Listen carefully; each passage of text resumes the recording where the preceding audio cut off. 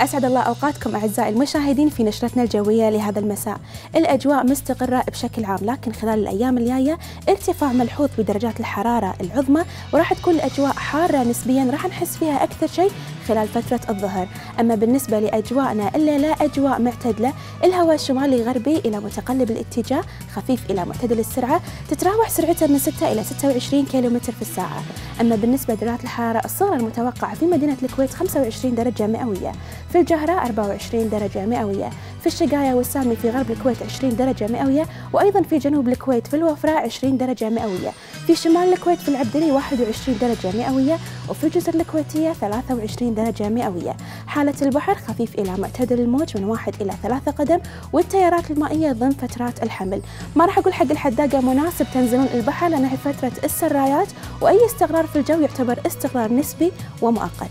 بالنسبة لدرجات الحرارة العظمى المتوقعة باكر أجواءنا بشكل عام راح تكون غائمة والهواء متقلب الاتجاه إلى كوس خفيف إلى معتدل السرعة يتراوح سرعته من 8 إلى 30 كيلومتر في الساعة.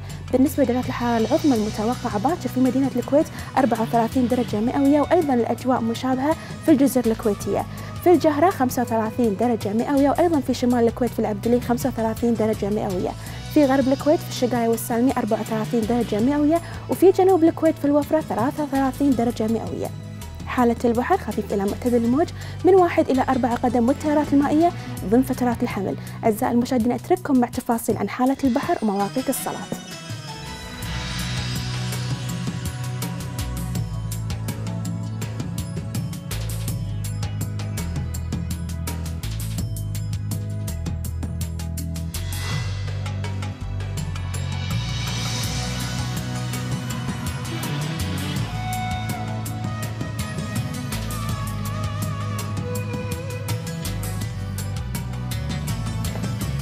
الأجواء خلال الأربع أيام الجاية راح تكون حارة نسبيا وراح نلاحظ ارتفاع في درجات الحرارة.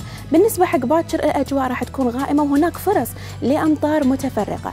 العظمى 34 درجة مئوية والصغرى 23 درجة مئوية والهواء كوس مستمر معانا أيضا يوم الأربعاء لكن قد تنشط الرياح وتصل سرعتها إلى 40 كيلومتر في الساعة مثيرة للغبار.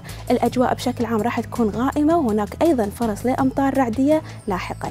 أما بالنسبة ليوم الخميس هو أول يوم في عطلة نهاية الأسبوع راح تكون درجات الحرارة 36 درجة مئوية العظمى والصغرى 23 درجة مئوية ويقلب الهواء ويصير شمالي وأيضا راح تكون الرياح نشطة. قد تصل سرعتها إلى 40 راح تكون مثيرة للغبار بالأخص على المناطق المكشوفة. لذلك بالويكند حطوا بالكم اللي نازلين الشاليهات أو اللي طالعين أنه ممكن قد تنشط الرياح وتسبب بانخفاض بالرؤية الأفقية بسبب الغبار. وأيضا هناك فرص لأمطار متفرقة في وقت لاحق. بالنسبة ليوم الجمعة الأجواء راح تكون حارة نسبيا. درجة الحرارة العظمى 37 درجة مئوية والصغرى 25 درجة مئوية والهواء متقلب الاتجاه.